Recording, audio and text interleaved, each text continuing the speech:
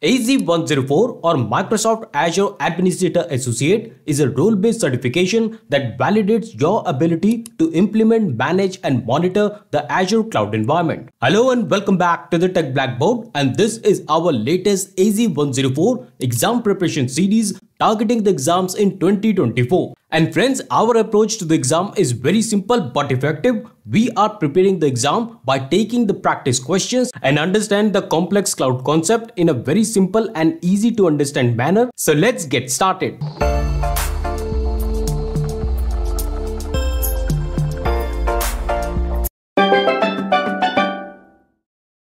So let's begin part 15 with question number 101 and please note we have already made the century of the questions and this is the next level. So let's read the instructions or the notes first and the notes tells us that this question is included in a number of questions that depicts the identical setup. However, every question has a distinctive result and we have to establish if the solution satisfies the requirement. So basically in these kind of questions you will be given multiple questions identical but the solution given in the question that will be different. And of course, we have to pick the right solution. So let's read the question. The question says that your company's Azure subscription includes two Azure network named Virtual Network A and Virtual Network B.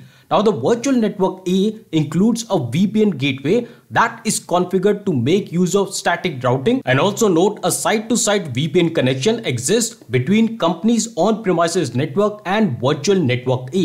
And this is very important point to note that the company has an Azure network, virtual network A, and they also have a site-to-site -site VPN connection between this Azure network and the on-premises network.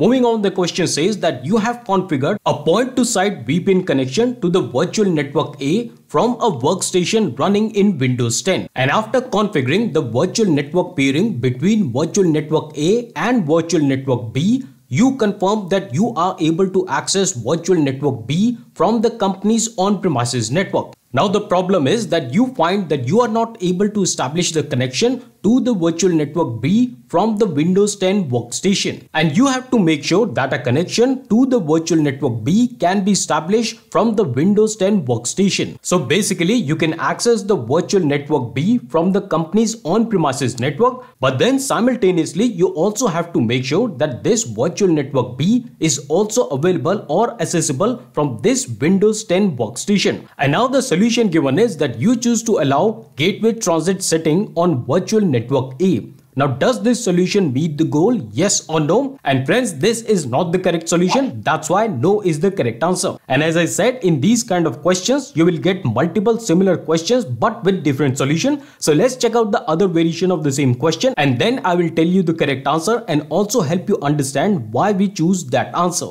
So here it comes. Question number 102. Question exactly is the same. Let's read the solution. The solution says that this time you choose to allow gateway transit setting on virtual network B. In the previous question, we did the same on the virtual network A and now we are doing the same on virtual network B. Does this solution meet the goal? Yes or no? And once again, this is not the correct solution. That's why no is the correct answer. And now let's check out the third variation of the same question. Let's read the solution. The solution says that you downloaded and reinstalled the VPN client configuration package on Windows 10 workstation. Does this solution meet the goal? Yes or no? And yes, my friends, this is the correct solution. That's why yes is the correct answer. Now let me help you understand what is this question all about. So first of all, we have to understand that this Windows 10 workstation is on premises. The reasoning for the same is that the point-to-site VPN connection is established from a workstation running in Windows 10. And then it has also been confirmed that we can access the virtual network from company's on-premises network. So one thing is confirmed that the Windows 10 workstation is on-premises.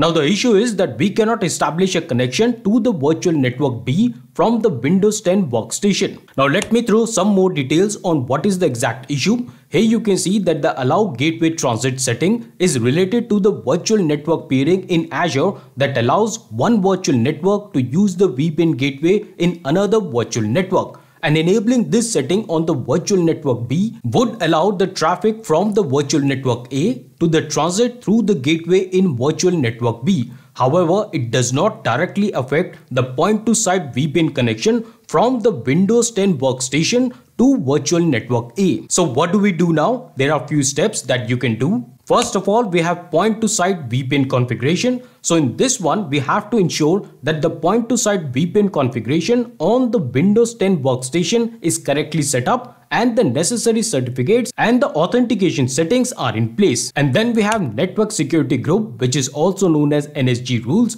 So in this one we have to review the network security group rules associated with the subnets of the virtual network B. And we need to make sure that the necessary rules are in place to allow the traffic from Windows 10 workstation to reach the virtual network B. And then we have VPN gateway configuration. Now here my friends, we have to verify the configuration of the VPN gateway in the virtual network A.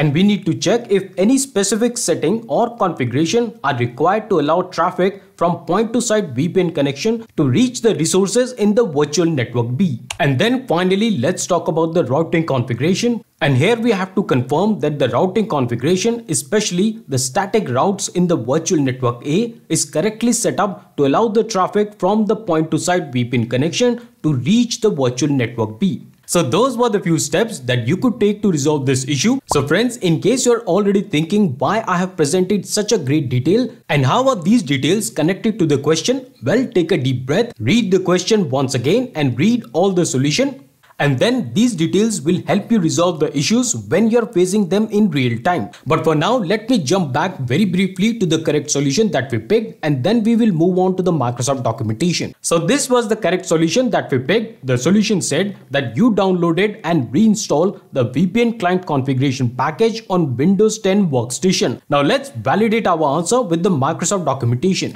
So as you can see on this Microsoft documentation, this is all about the point to site VPN routing. You can read read this detailed documentation. It's a very lengthy documentation with lots of scenarios given here. So you can read all the documentation, understand what you have to do when you have multiple peered VNet or you can also understand what should you do and how to resolve the issue in case you have multiple VNets connected using S2S VPN. So a lot of business cases are given but the point or the main crux of this documentation that I want to show you where we can validate our answer as well is this one and it says that if you make change to the topology of your network and have Windows VPN client, the VPN client package for the Windows client must be downloaded and installed again in order for the changes to be applied to the client. And that's exactly the answer that we have picked for this question. Now let's move on to the question number 104. The question says that your company wants to have some post-deployment configuration and automation task on Azure virtual machines. And the solution given is that as an administrator, you suggested to use ARM templates.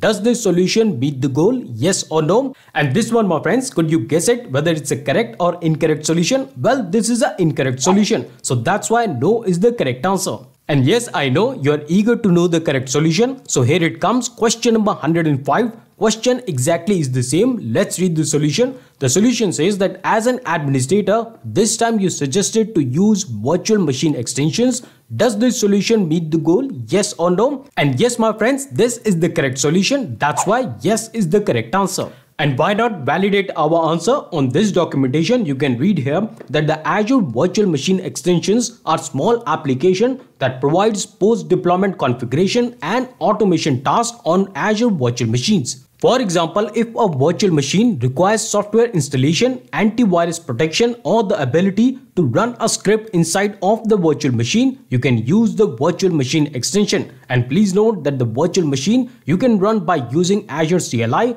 PowerShell, Azure Resource Manager template and Azure Portal. And the links to all the documentation is right there in the description box. You can read whenever your time permits and increase your knowledge. So I hope you understood all the questions and the answers and also the concepts hidden in those questions. In case you did, please take a brief moment to like the video. And of course, in case you are new here today, please consider subscribing to the channel as we bring multiple videos and shorts to enhance your cloud learning. And you can also visit our website, read our blogs and join the YouTube membership community that begins at just rupees 89 but it gives you a whole array of extra exam resources and that's all for today. I will see you in the next video. Till then stay fit, keep learning and thanks for watching.